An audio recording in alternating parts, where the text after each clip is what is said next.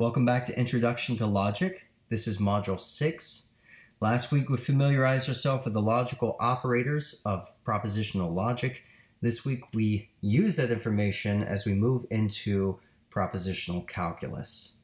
Our main objective in this module is to learn how to use eight basic rules of inferences, seven rules derived from those eight basic rules, and 10 rules of replacement or equivalencies. Now, since our purpose for learning these rules is to be able to construct logical proofs in order to demonstrate the validity or invalidity of a given argument, we should first make sure we understand what a proof is and how a proof basically works. Once again, much credit and thanks goes to philosopher James Fieser for the free open access material he made available online as he developed his own course in logic. Now, some arguments are rather straightforward and simple. If P, then Q. P is true, so Q is true. Yet some arguments can become quite complex, and so we should learn how to construct a proof in order to demonstrate that the conclusion indeed follows from the premises given, or else, perhaps, that it does not. Now, the first thing we should do is give each premise its own line and go ahead and number the line. Then we move the conclusion off to the side and we see this is the basic form of our argument. Next, we're going to draw a line beneath this, and then beneath that line, start listing our proofs, line by line. The line we are currently working on may refer to any line above it, and for each line, we're going to give it another number. We're going to list some new piece of information, and then to the side, we're going to identify the lines from which that information came and the method by which we came to that information. And we continue in this manner until we have made explicitly clear how we went from premise one to the conclusion. Now, at this point, you have hardly any of the tools that you will need to construct the proofs for many of the arguments that we will encounter. However, you do have just a few tools in the last module, we covered four common deductively valid argument forms. These are four of the basic rules that we will cover in this module. So I made sure that this example can be demonstrated with the information that you have at this point. But while it's the point of this module to teach you many of those rules that you need to be successful, I do think it's helpful if you understand what a proof essentially is and what it does and how it works before you just start memorizing the rules to then apply to it to make it work. So in this case, we went from if P then Q to the conclusion that Q, and all the information is there, but it's not explicitly clear how we got there. So we need to draw that out to make it clear. So we need to start a new line and add some new information. Now we can get not R from the information given because we know that S or not R from line 3, and from line 4 we know that S is not the case. Now in the last module we learned that one of the common deductively valid argument forms is called a disjunctive syllogism, and that comes in the form this or that, not this, so that. So based on lines 3 and 4, we know that using a disjunctive syllogism, we can come to the conclusion not R. So we start a new line, line 5. We present the new evidence, not R. And to the right, we note how we came to that conclusion. Line 3 and 4, disjunctive syllogism. Now that we've proved not R, we can offer a further piece of evidence. Look at line 2, R or P. Well, we just provided the proof for not R, and based on that same rule or argument form, the disjunctive syllogism, this or that, not this, so that, we can also conclude R or P, not R, so P. So line 6 in our proof would give the evidence P, and we came to that conclusion based on lines 2 and 5 by way of a disjunctive syllogism. Now we can come to the conclusion of Q because if P then Q, line 1, and P is true based on line 6, therefore Q must be true. And we know this because of the modus ponens. which you should recall by now comes in the form if P then Q, P is true, so Q is true. So line 7 of our proof, the final line would give the evidence Q and show that the evidence was reached based on lines 1 and 6 by way of modus ponens. This is what it means to construct a proof. And our goal for this module is to acquire a wide variety of tools so that we can approach and construct proofs for a wide array of arguments. So let's dive on in and begin with our eight basic rules of inference. Our first rule is one I'm sure you've known for a long time. A double negative leads to a positive. So our first rule is called a negation elimination. It can be represented with negation sign E, or more commonly, since it's a form of double negation, it can be represented with dn.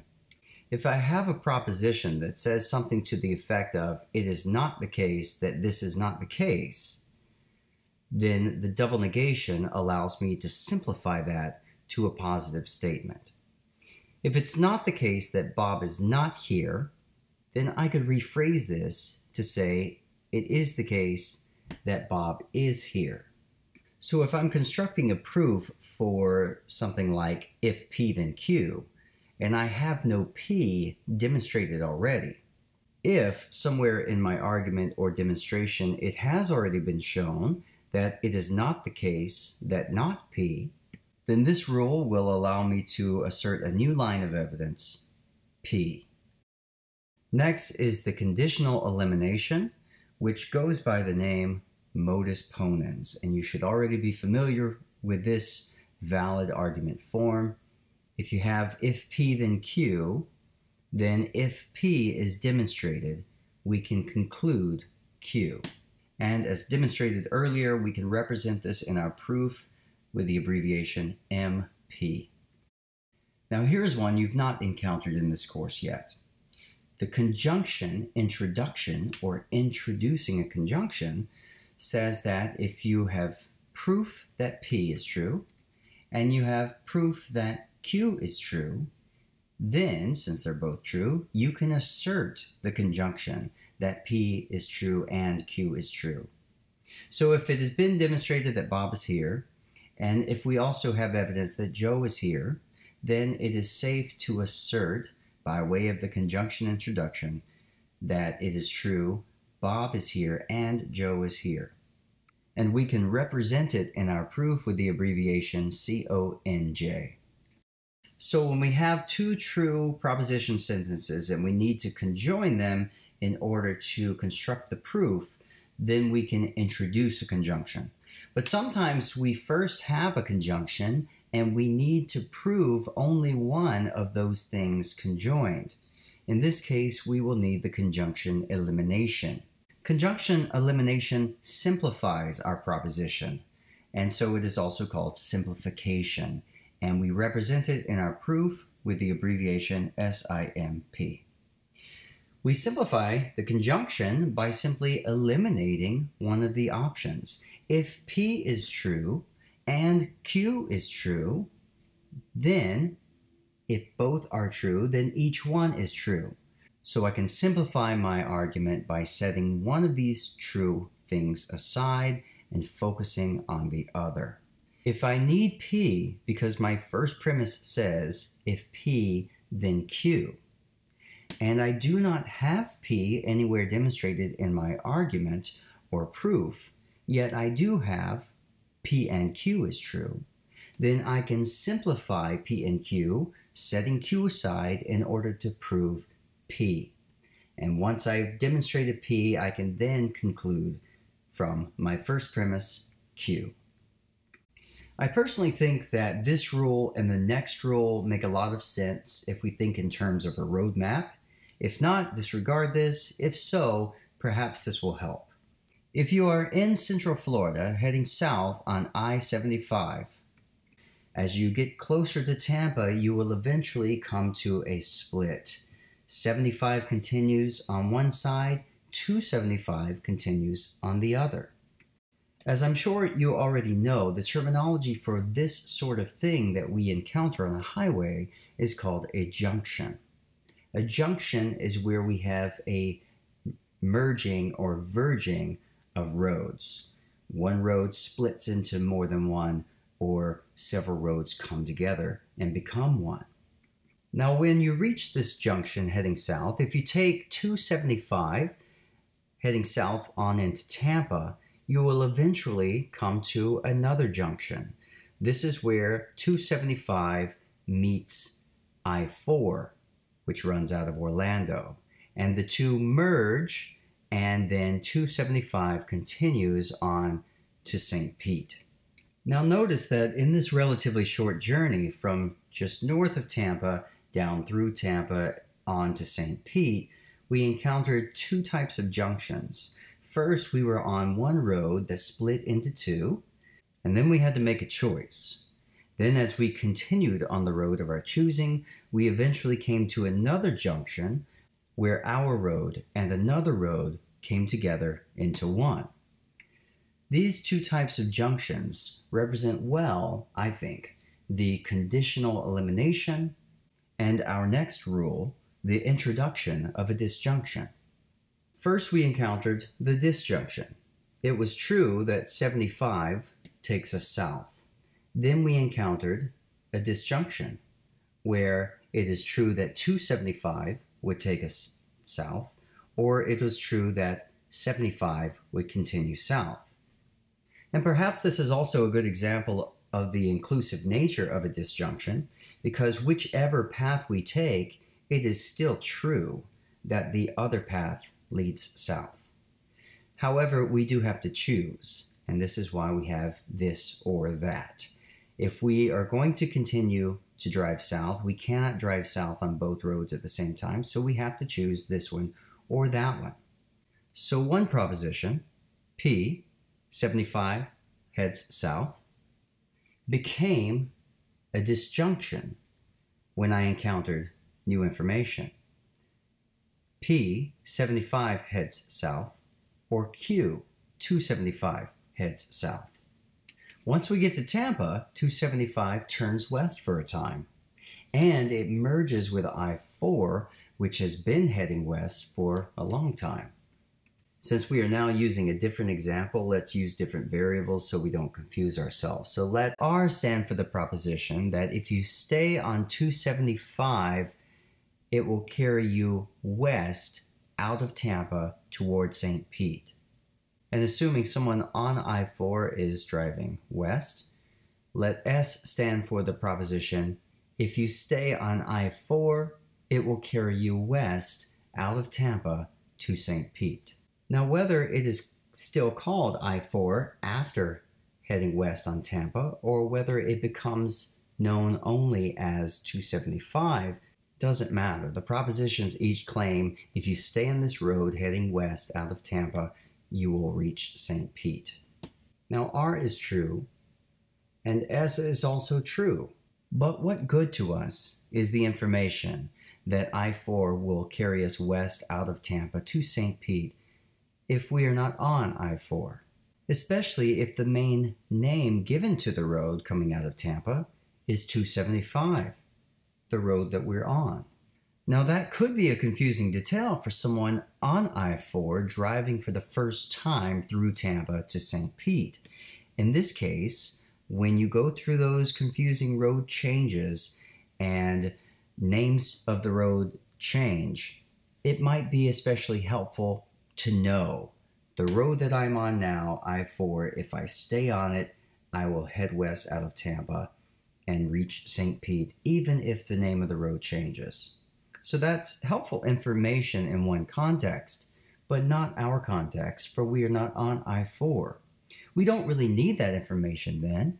And so we should set it aside and focus on the fact that if we continue on the road that we are on, we will continue west out of Tampa and eventually reach St. Pete. So in this case, we begin with two pieces of information. R is true and S is true, or R and S. But we don't need S. Because they're both true, each is true, we can get rid of S and focus on the truth of R. R is what we need in order to reach our conclusion as to whether we will reach St. Pete. So maybe that helps, maybe it doesn't. Either way, we're moving on. So this second junction was an example of simplification, the last rule we looked at. The first junction was an example of this next rule. Disjunction introduction, also called addition, because we are adding a simple proposition, and so we can represent it in our proof with the abbreviation ADD. So addition, in the form of a disjunction, says if I have one statement that's true, I can go ahead and assert that that statement is true or another statement is true.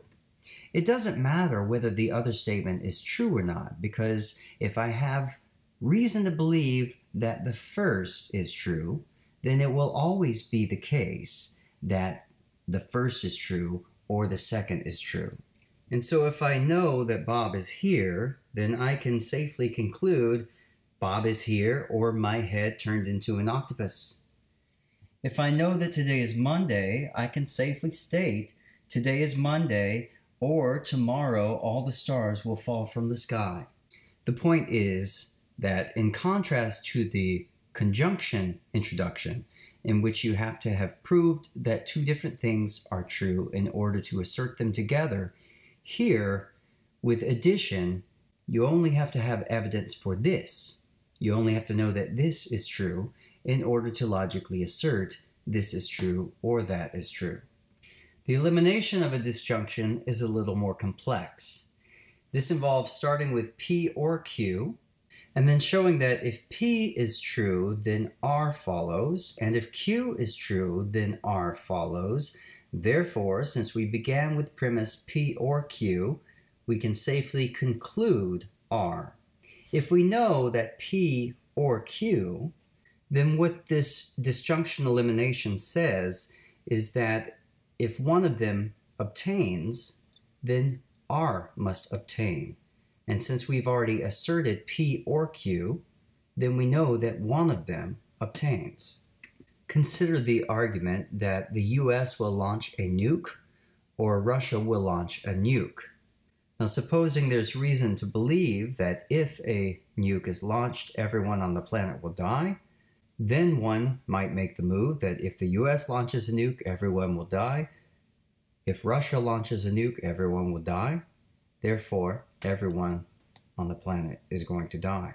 This rule is more commonly called a constructive dilemma, and it is represented within the proof by the abbreviation CD. Our last two rules of inference involve the introduction or elimination of the biconditional. First, we have the biconditional introduction, which is also called material equivalence, and it is represented with the abbreviation ME. This is where we have two conditionals which imply a biconditional. For example, if P then Q shows up in our argument or somewhere in our proof thus far, and if Q then P has also been shown. From this, we see what shows up in the biconditional, if P then Q and if Q then P, so we can go ahead and translate it to biconditional terms. P if and only if Q. If it has been established that if I go to the movies with you, then you will pay for my ticket, and if it is true that if you pay for my ticket, then I will go to the movies with you, then we can safely conclude that I will go to the movies with you if and only if you pay for my ticket. The elimination of a biconditional is just the opposite. We're still talking about the same thing, really, just from the other direction. And so it's still a form of material equivalence, which we abbreviate ME. And we will go deeper into rules of equivalence next. But for now, we just need to understand that if we are given a biconditional statement, P if and only if Q, if we need things to be stated in terms of a conditional in order to solve for the conclusion or demonstrate our proof, then this rule allows us to just eliminate the biconditional operator and exchange it for two conditionals. P if and only if Q means if P then Q, and it also means if Q then P. So this rule of implication or inference allows us to move from a given biconditional to a restated conditional. Now technically, if you want to dissect what's going on here, there are technically two moves involved. For the biconditional implies a conditional and another conditional. P if and only if Q implies if P then Q and if Q then P. But recall what we learned from the conjunction elimination earlier. If two things are understood to be true, then any one of them is true. So I don't have to assert them both. I can simplify it to just one of the two things asserted. Now, in most cases, when we have a conjunction, we have an extra step in which we identify the elimination of the conjunction or the simplification. However, with this rule of implication, it's understood that a biconditional implies that either conditional must be true. So we can kind of skip that middle step in this case and go directly from a given biconditional to one of the conditionals. So if I know it's the case that P if and only if Q, then because I understand that this means both if P then Q and if Q then P, I can go ahead and just state if P then Q.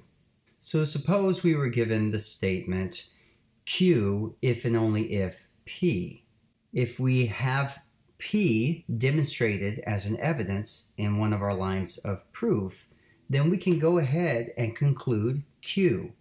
Why? Because the biconditional Q if and only if P implies that the statement if P then Q is true.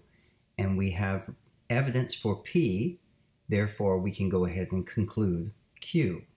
Now this could never happen with a conditional in the form if Q then P because in that case, we would have to demonstrate the Q in order to move to the P.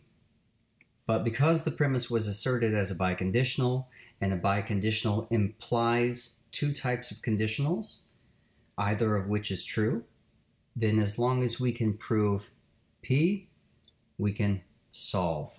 As long as we can prove Q, we can go ahead and solve. And the way that we do that is by eliminating the biconditional, translating it back in terms of the conditional, and then moving forward with a basic modus ponens. Jill is here if and only if Jill's ugly boyfriend is here. From this biconditional, we already understand that if Jill is here, then her boyfriend is here.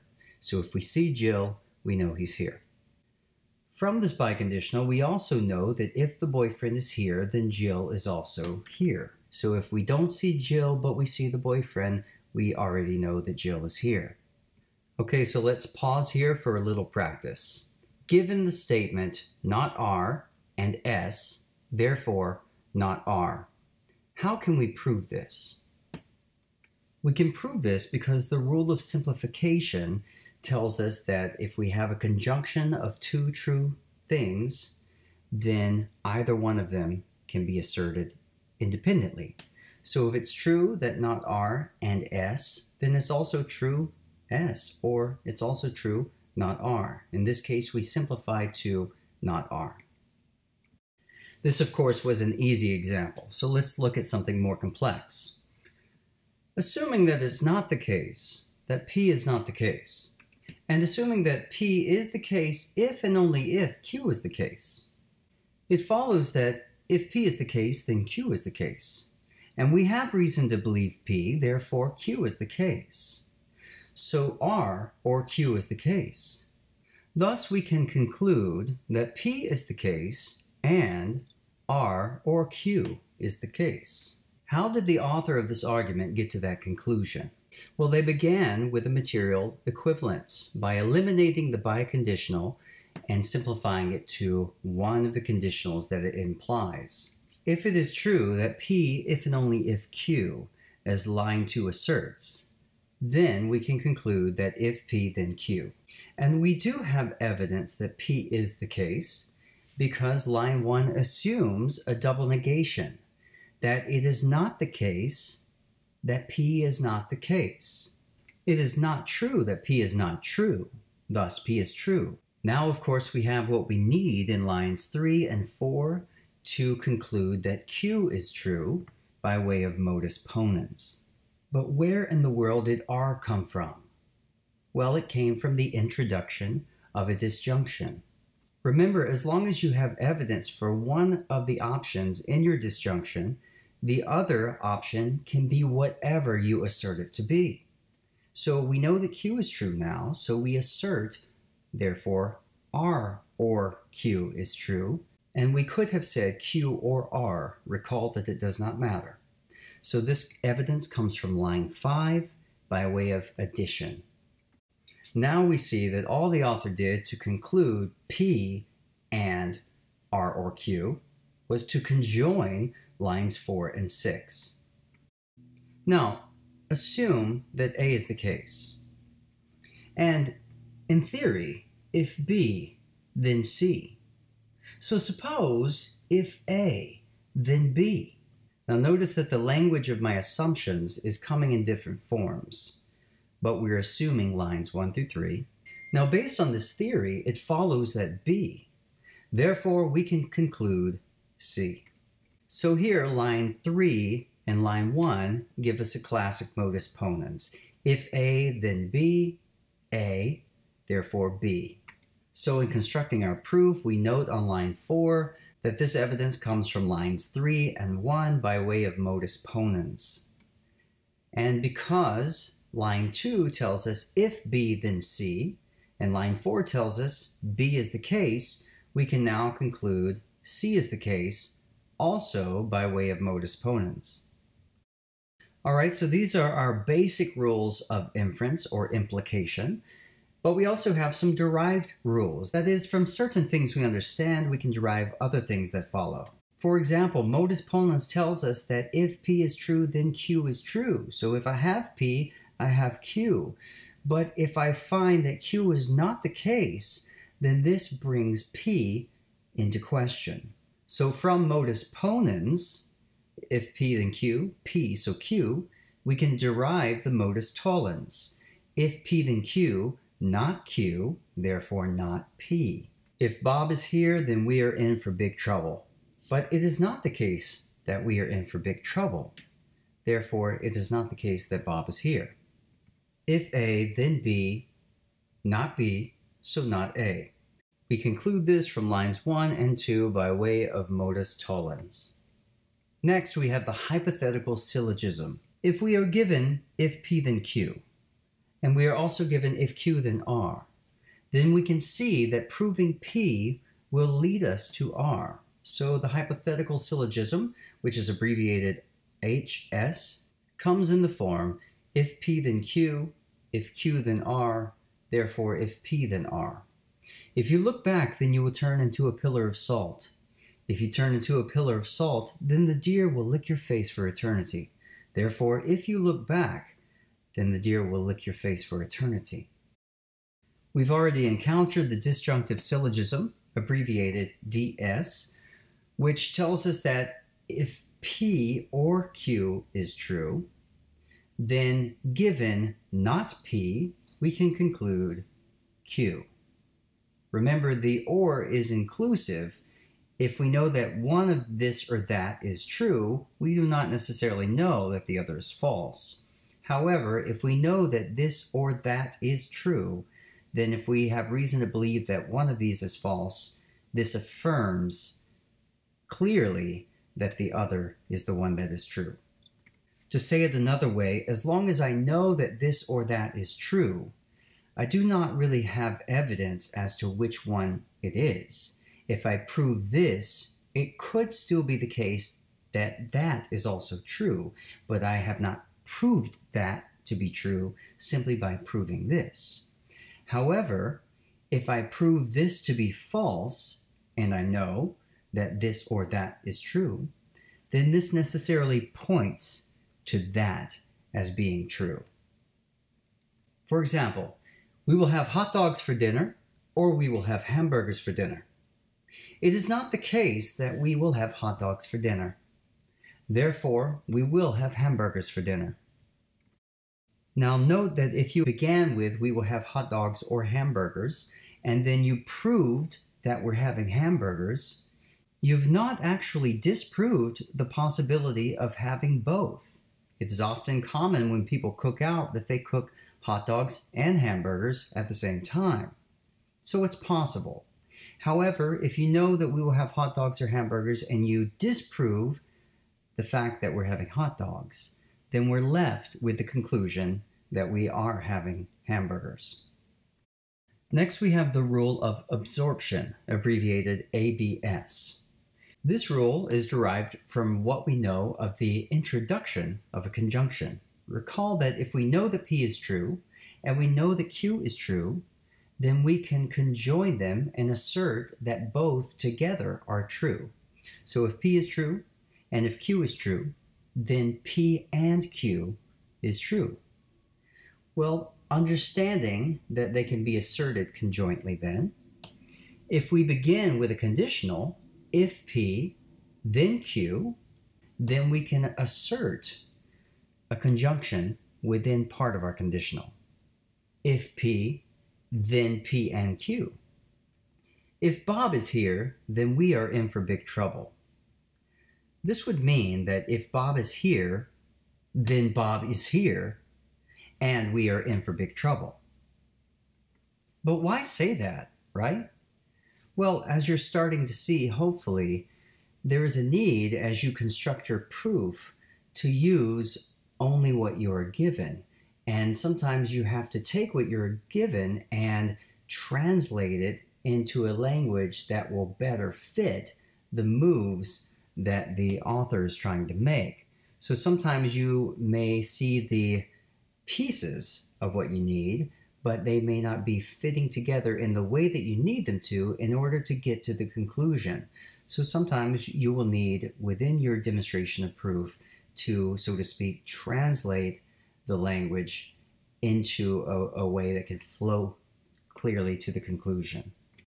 Next is the constructive dilemma. Remember, a dilemma is kind of like a disjunction in the sense that you must choose between this or that. You are constructing a different dilemma or disjunction than the one you began with. So if we begin with P or Q, and if we have reason to believe that if P then R, and if Q then S, mom will come home first tonight or dad will come home first tonight. If mom comes home first tonight, then we will have hot dogs for dinner. If dad comes home first tonight, then we will have tofu for dinner. Therefore, we will have hot dogs for dinner or we will have tofu for dinner. So in this case, constructing a proof, we would show that R or S comes from lines 1, 2, and 3 by way of a constructive dilemma, which we can abbreviate as CD. Next is the contradiction. If you run into a contradiction, then you have escaped the bounds of reason. This is true and not true, and we're not talking about rational things anymore. So any conclusion would follow. The whole argument would be, of course, problematic. So if we begin with evidence that P is true, and we find evidence for not P as being true, then we can go ahead and conclude anything we want because we're not talking about logical things anymore. For we have said that P is clearly true, and it's clearly the case that not P, for we have evidence backing both of these claims. And you could, of course, have fun with this. Bob is here, and it is not the case that Bob is here. Therefore, my head just turned into an octopus. So, to be clear, the reason we are having fun with this is because if you assert two propositions as true that contradict one another, then the whole world of logic falls apart and anything is possible. And you may well encounter people who assert contradictory things. So if you encounter an argument that assumes a contradiction like this, you may find the argument proceeding in the following way. Based on line 1, we can conclude, by way of addition, that P or Z is the case. Therefore, we can clearly conclude Z based on lines 3 and 2 by way of a disjunctive syllogism. Now, notice here the logical moves that the person is offering are fair. What doesn't work is the contradictory assumption they began with. And you can encounter contradictions in your arguments, and so you need to be able to find them when they show up. So, in an argument this short, we would just identify this as a contradiction and waste our time no further. Now, if this showed up in a lengthier argument further down the line, then it might be beneficial to help the person making the argument out by uh, logically analyzing the argument up until that point, then identifying the contradiction where the argument derails and then going no further, and like Socrates, encouraging them to start again. Of course, Socrates tended to do this in a more sarcastic manner that came in the form of, Oh, something has gone wrong, but I know that you know what you're talking about. So we should probably go back and start over and try again. I know you've got some great wisdom for me, and I'm eager to learn what it is. Now, some arguments may need to assert a theorem. A theorem is a well formed formula that is a tautology. Recall that a tautology is a statement that is logically necessary, such as the statement, It is not the case that Bob is here and Bob is not here which can be simplified symbolically as not, and then in parenthesis, P and not P. If there is a tautology that we have need of in order to complete our demonstration, because it is a necessary logical truth, it is permissible to go ahead and assert it. And so we can just assert it as a theorem. So here's an example. Suppose an argument says x or x or z. It's not the case at x, therefore z is the case. Now, you can probably see, in a sense, you can understand how the negation of x would seem to get rid of the possibility of x is true or x is true. And even if you can see it, even if it makes sense to you, it is your job as a logician, even if a temporary one for this course, to make explicitly clear how the premise leads to the conclusion, and nothing can be assumed or just left up to what we see. Everything needs to be carefully accounted for. So we begin with x or x or z. And we understand the disjunctive syllogism by now. So if we could get not x or x, then we would clearly be left with z. The problem is that we don't have not x or x. We only have not x. Now there is a maneuver here that you do not have yet, although you will have it in just a matter of moments. De Morgan's law allows us to translate what we're about to do into the language of not the case that x or x, which then allows us to resolve the dilemma. But we cannot even get there if we don't first have something to work with. And that something is not x and not x. For now, let's just understand that we've got not x, and if we can get not x and not x, then we will be able to translate it into the language that we need of not x or x to then eliminate that option and leave us with z. Now, how do we go from not x in line 2 to not x and not x? Well, the way that we do that is by introducing a theorem or a tautology. And if you haven't picked up on it already, the abbreviation for theoretical introduction is TI. What is the tautology that's being asserted here? Well, if I know that P is the case, it's an obvious truth that P is the case and P is the case. And yet it's fair game to assert that. It's so obvious that it would seem that we would not usually need to say it. And yet there may be a case in which doing so will be of benefit to our proof. And this is such a case. We know from line 2 that not x is true. We would not normally have to assert, therefore it's the case that not x is true and not x is true. But in this case, that is exactly what we need. So from line 2, by way of theoretical introduction, we can now assert not x and not x. And then using that line, line 3, by way of a tool we will have in just a moment called De Morgan's Law, we can translate that into the language of not the case that x or x. And this allows us to conclude z by way of lines 1 and 4 and the disjunctive syllogism. And the last of our derived rules, not our last rule to know in this module, but the final of our derived rules of inference or implication, is repeat. Repetition comes in the form of P, therefore P. I'm not going to say this again, therefore I'm not going to say this again. Now, we do not, of course, usually speak this way, but we do encounter this in everyday language, although it does not quite show up this way, especially because we like to say things in different ways, and this is why redundancy can even become a problem. But suppose you hear a mother or father telling a child, I'm not going to repeat myself, so I'm not giving you another warning. They're essentially saying the same thing. I've already told you, I'm not going to tell you again. This is your final warning. So we might translate it to, I'm not going to tell you again or warn you. Therefore, I'm not going to tell you again or warn you. When they say I'm not going to repeat myself, they're trying to communicate that this is your last warning. And then they follow it up with a sort of redundancy, for the sake of clarity perhaps. I'm not going to give you another warning, which is another way of saying I'm not going to tell you again.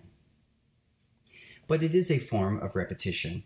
And as we try to unpack and analyze our logic and construct our proofs, we of course try to simplify the language, and once we simplify it, we're really saying P, therefore P. And although we will likely not often encounter it, it is possible that we may encounter it within an argument, and so we need to have the tool to do so. So when we encounter or make use of this move, we identify it by the abbreviation RE for repeat. Now I encourage you to pause and learn the rules we've discussed thus far well before moving forward. Now we only have about 10 more rules to learn. Unfortunately, these are the most difficult and demanding in this module. Now, in one sense, they're trying to make things easier for you. When you run into a wall trying to work out a proof in one direction, you may can simply translate the language of the proof in order to continue working it out from a different angle. In that sense, they're very helpful, just like stopping to think about something from a different perspective. The difficulty comes in that the language used in equivalence often carries a number of operators in the mix. We've actually seen some of the simpler ones so far double negation, we know that a double negative equals a positive. But to translate a positive into a double negative, we already have two operators in the works, two tildes or negation symbols. Or think of our material equivalence, the biconditional. To translate the biconditional, we now have to have two conditionals operating. But what we're talking about here is not necessarily making the simplified move from one biconditional to one conditional. There may be times that you have to make a more complicated move, and that involves even more operators than just a conditional. So again, at this point, I encourage you to pause, go master what you've learned so far, and then come back to continue. Now, our rules of replacement, also called equivalencies, are rules that allow us to replace one well-formed formula with another, another that is logically equivalent to it.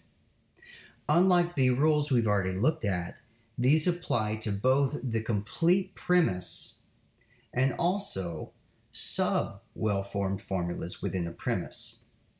In other words, if our main premise has several operators in the mix, such as P if and only if Q or R and not S.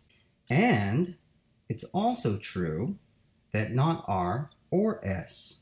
One rule of replacement will allow us to replace the sub-well-formed formula, not R or S, and translate it into the language of not the case that R and not S. On the other hand, if our main premise is a little simpler, even if it does not seem so at first glance, such as in parenthesis P and Q in parenthesis, or in parenthesis not P and not Q in parenthesis, we can translate this to a biconditional P if and only if Q. Now, just so there's no confusion, a symbol of four dots marking four corners of a square is a symbol that can be used to represent a biconditional, for which we use the symbol of a double-sided arrow. We are using this four dot symbol primarily because it makes it easier to recognize equivalencies. So when you see these four dots, you think what is on the left is equivalent to what is presented on the right. So for our purposes here, think of the equivalency symbol that we are designating here as a sort of equal sign, where we are saying that the well-formed formula on the left is logically equivalent to the well-formed formula on the right of the symbol.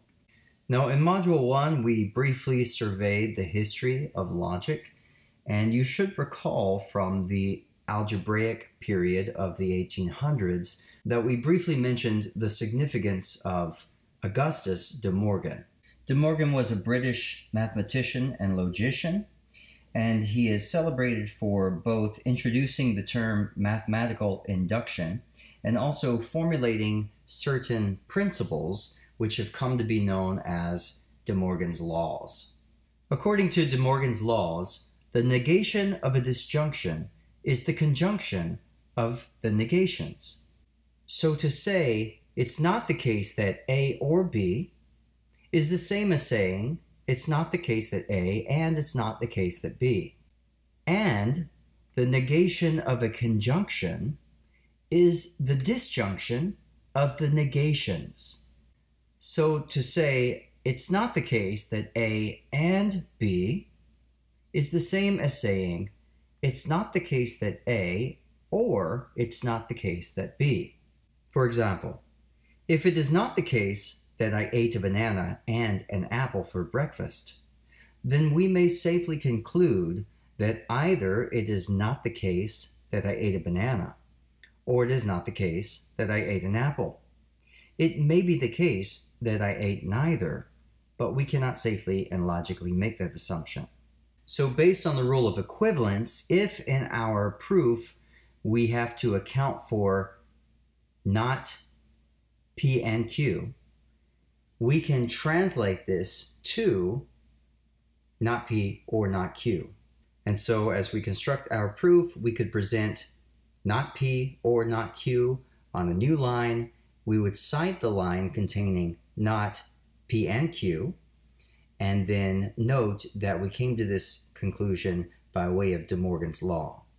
And likewise, if we encounter it's not the case that P or Q in the argument. And we need to translate this into the language of it's not the case that P and it's not the case that Q. De Morgan's law allows us to do this. Now, if it helps with some of these, I'm trying to provide a mnemonic tool to help you remember how to distinguish between some of these rules. For De Morgan's laws, it may be helpful to remember and equals or, because what you're essentially doing is converting a conjunction, an and statement, to an or statement, or you're converting an or statement, a disjunction, to a conjunction. When noting De Morgan's law in your proof, you can use the abbreviation DM. The next rule is commutation, abbreviated COM. Here it will be helpful to think and equals and or, or equals or. Because essentially all you're doing is converting a disjunction into the same disjunction phrased differently, or you are converting a conjunction into the same conjunction phrased differently. Now we understand that in a conjunction or a disjunction, The simple propositions can switch places and not change the meaning of the overall proposition. However, even though we know they mean the same thing, P or Q is not explicitly and clearly presented in the same way as Q or P. And since the point of our logical proof is to be as explicit as possible, to make our reasoning clear and distinct, if we have P or Q, and what we are working toward in our proof is phrased Q or P, we cannot simply swap them around. We have to account for that in one line of our reasoning. So we would introduce a new line, swap the simple propositions, and note the line that we changed and that we came to this new evidence by way of the rule of commutation. Our line of reasoning is clearest when we continue to use the same phrasing. And if we need to change our phrasing, then we need to note that we are doing so so that we can continue to remain as clear as possible. Next, we have the rule of association. It is abbreviated ASSOC. Association allows us to move parentheses whenever we have a series of disjunctions or a series of conjunctions. So, for example, in a disjunction, to say P is true or Q or R is true is the same as saying P or Q is true or R is true. And in the case of a series of negations, to say P is true and Q and R are true is the same as saying P and Q are true and R is true. And again, the reason for this is that as we construct our proofs, there may be times that what we see needs to be translated into a different way of phrasing the same thing so that our proof can remain as clear as possible. So here it might be helpful to think in the plural sense conjunctions to conjunctions or disjunctions to disjunctions, ands to ands, ors to ors. Now, the rule of distribution can be a little tricky for some. For others, it may be easily identifiable because you quickly lock on to the way the conjunctions and disjunctions are being combined. So, with the distribution, on one side we have a combination of and and or. For example, P and Q or R, or perhaps P or Q and R. So we begin with a conjunction, disjunction on one side, and we're going to convert that to the language of either and or and or or and or. So when we have a conjunction and a disjunction, if our main operator is a conjunction, then this can be converted into two conjunctions where the main operator connecting them in the proposition is a disjunction. So P and Q or R can be converted to P and Q or P and R. On the other hand, if I have a conjunction and a disjunction and the main operator is a disjunction, this can be converted into a statement with two disjunctions where the main operator is a conjunction. So when we involve a proposition containing a conjunct and a disjunct, distribution allows us to pair the first conjunct or disjunct with each part of the second conjunct or disjunct. Keep in mind, though, that equivalence does not always work in the same way. For example, sometimes we may encounter P and Q or P and R, and we need to remember that we can translate that to the language of P and Q or R. So in our proof, if we have one of these types of things and we need to convert it to the other, we introduce a new line, we introduce the translated or converted proposition, we note the line containing the proposition that we are changing, and then we identify that the way we came to this conclusion was by way of DIST or distribution. Now, we've already encountered double negation as one of our basic rules of inference or implication, and that is because we can easily infer that if something is true, it's not the case that it's false. But the basic rule we introduced there came in the form of a negation elimination. That is, when presented with a double negative, we understand that that is the same as a positive. But sometimes we may have a positive statement and need to translate it into the negative language. So if I have proposition P and I need to convert that to the language of it's not the case that not P, I can do so by introducing a new line and noting the line where P is found and noting that we came to the new line of information, not not P, by way of double negation. The rule of transposition, abbreviated TRANS, is new in one way, but not in another. It is familiar in the sense that we should understand by now that a modus ponens and a modus tollens are equivalent. They both begin with if P is the case, then Q. They just flow in a different way in order to reinforce the idea that Q is a consequent of P. Modus ponens uses positive language and, if we're thinking of a mathematical scale, moves in a positive direction from affirming P to concluding Q. Modus tollens uses negative language and thinking of a mathematical scale moves in a negative direction from right to left and it comes in the form of not Q, therefore working back to P, not P. But both of them reiterate the point that Q rises or falls with P, and so they are equivalent statements. So this rule of equivalence, called transposition, says that I can translate if P then Q into the language of if not Q then not P. Similarly, if I encounter a proposition in the form if not Q then not P, I can translate this into the positive language of if P then Q. The rule of material implication is directly related to this but if you're not careful, it may seem a little trickier.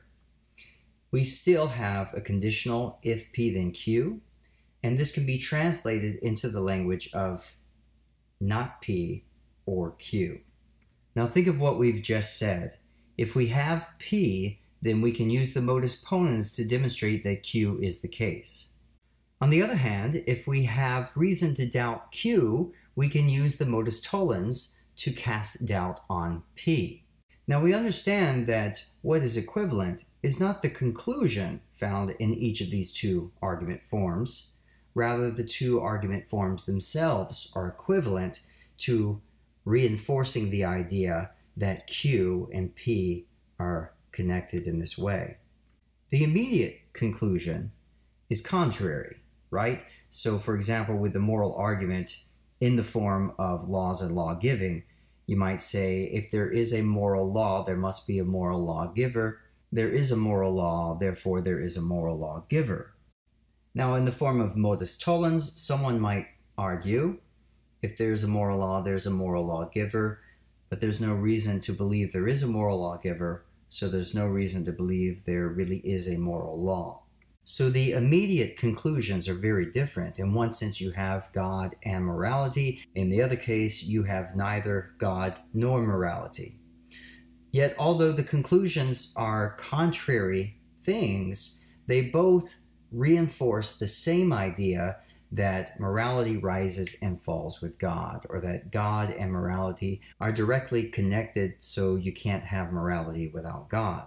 So, in one sense, the ultimate conclusion, not the immediate one, is the same. However, the immediate conclusion is very different, as you can see. While understanding the ultimate conclusion is what is helpful in understanding the equivalence of the two argument forms, understanding the immediate conclusion of the two different forms is what will help you understand material implication. So with the modus ponens, if I have P, I prove Q. Q is the case. With the modus tollens, however, I have reason to doubt Q, so I have reason to assert that P is not the case. So one form is able to prove Q, and the other is able to prove not P. So if the ultimate conclusion is true, in this case, that God and morality rise and fall together, or to say it another way, if our initial proposition is true, that if P then Q, then it will follow that either Q is the case, modus ponens, or not P is the case, modus tollens. So material implication allows us to convert if P then Q into the language of not P or Q. Or if we encounter not P or Q, we can convert this back into the language of if P then Q. We introduce a new line, we introduce the translation, we cite the line with the initial proposition that we are translating, and then we note that we came to this new evidence by way of MI or material implication. Be careful not to confuse material implication with material equivalence. The next rule, material equivalence, abbreviated ME, allows us to convert biconditionals into other logical connectives and vice versa. Here the hint will be, in one form, to look for the biconditionals. Otherwise, it might be helpful to remember, just like the four dots, the biconditional symbol, double arrow, technically means equivalence. When we say P if and only if Q, we are saying the truth value of P is equal to or equivalent to the truth value of Q.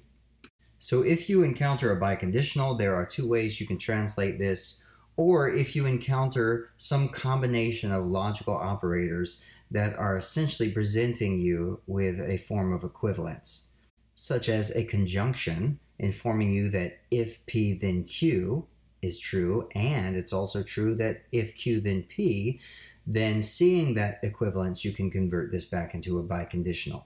Because we have already encountered and now understand the second version of this rule, that the biconditional P if and only if Q is the same as saying if P then Q and if Q then P. The move we are less familiar with is the first version of material equivalence. But you really need not overthink it given what I just said. Understanding that the biconditional is really a symbol of equivalence, and P if and only if Q is the same as saying the truth values of P and Q are equivalent. And so here you might think back on those truth tables. This means that we're only going to end up with two possible scenarios in which P and Q are true or P and Q are false. There is no scenario in which P is true and Q is false, or P is false and Q is true. If you understand that, then you understand that to say P if and only if Q is the same as saying either it's the case that P is true and Q is true, or it's the case that not P and not Q. So both are true or both are false. That is what the biconditional means. Next, we have the rule of exportation, abbreviated EXP. Exportation allows us to convert a conjunction into a conditional or convert a conditional into a conjunction. Now here you should note that we are talking about a sub-well-formed formula. We are not talking about a situation in which we are presented solely with a proposition that is a conjunction, or we have a proposition that is only a conditional. We are talking about a situation in which we have a well-formed formula that contains within it sub-formulas that come in the form of a conditional or a conjunction. Those sub-formulas can be converted in order to help us solve the overall proposition. So if we have a proposition that comes in the form, if it's the case that P and Q then R. This is the same as saying if P, then it will be the case that if Q, then R. Because if we know it's the case that if P is true and Q is true, then R will follow, then if we know that P is true, we also know that if Q is also true, in which case P and Q are both true, then R will follow. And vice versa, if we encounter if P, then it will be the case that if Q, then R. We can convert this back into the language of if P and Q obtain, then R will follow. So in our proof, we would insert a new line, insert the new language or the translation, identify the line which we are translating, and note that we came to the new evidence by way of EXP for exportation. Our final rule is another concept we've encountered before, the tautology. This is abbreviated TAUT. Recall that a tautology is an obvious, necessary truth. It doesn't need stating in common language, but there may be a need for it in a proof. And this purpose is really just to create a conjunction or a disjunction when all we have is a simple proposition. So if it's true that P, then it would also be true that P and P. And if it's true that P, it would also be true that P or P. So let's end with a few examples and a little practice. If you see A if and only if B, therefore A and B, or not A and not B, which rule allowed the author to make this move? The answer is material equivalence. Hopefully you see the equivalence of the statement A and B have the same truth value or A and B have the same truth value. What about the next example? A or C, and if this is the case, then B if and only if C. Once again, we have material equivalence. Now try not to become visually overwhelmed once you see a lot of sub-well-formed formulas in play. The only thing that changed from line 1 to line 2 was the biconditional B if and only if C changed to if B then C and if C then B. Okay, what about something more complex? X or not Y, and if this is the case, then Z. Not Z, therefore Y. How do we prove this? We can prove it by showing it's not the case that x or not y. And so not x and it's not the case that not y. Therefore, it's not the case that not y. Thus, we conclude y. Now pause the video to see if you can figure out which lines and which maneuvers the author used in constructing this proof. Here's the answer. Line 3 comes from lines 1 and 2 by way of a modus tollens. Line 4 then comes from line 3 using De Morgan's law. Line 5 comes from line 4 using the rule of simplification. And then we can simply double negate line 5 to conclude y. Try this example. If g, then h. G is true and G is true, therefore H. Now we do not have the evidence that G is true. We only have the evidence that G and G.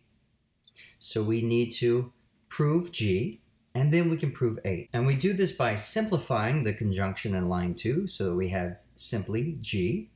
And then from lines 1 and 3, by way of modus ponens, we can conclude H.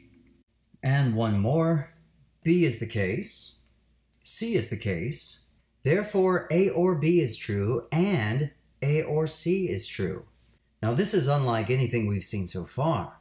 How did the author move from two simple propositions to such a complex conclusion? Well, let's look at the proof. In line 3, we conclude B and C is the case. In line 4, we have A is the case or B and C and then we move to the conclusion A or B and A or C. Again, I encourage you to pause here and see if you can figure out the moves that the author is making in this proof.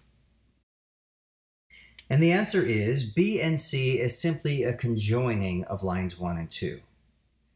Then we add an additional simple proposition, A, in line 4, now we have all the letter variables in play and pay close attention to what's going on in line 4. We have a combination of OR and AND.